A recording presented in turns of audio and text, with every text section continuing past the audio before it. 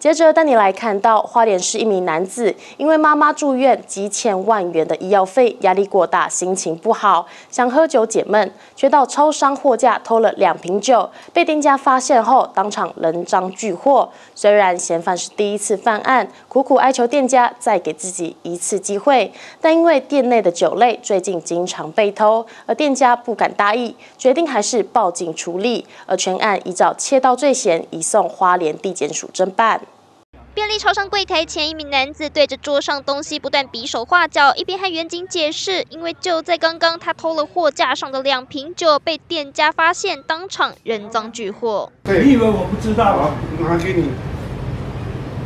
不用拿给我。